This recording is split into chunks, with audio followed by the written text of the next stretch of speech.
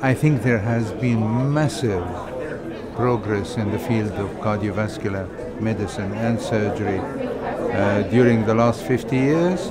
I was fortunate enough to see a lot of it.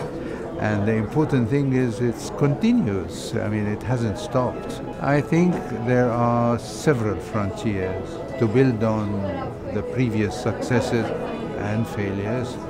Um, and it is to do with perfecting what we have, both technically, but importantly, it is the collaborative effort uh, working with uh, surgeons, cardiologists, uh, basic scientists, uh, technicians, nurses, all these cardiovascular teams in a collaborative fashion is going to deliver a whole lot of things, particularly uh, basic science and engineering. There are a whole lot of things happening right now which is going to deliver in a big way.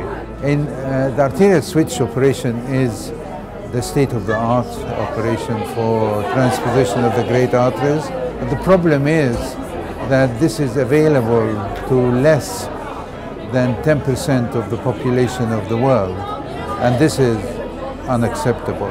There are uh, ways and means of dealing with this problem which has to be uh, implemented in the near future. We cannot ignore this massive divide between those who have and those who have not.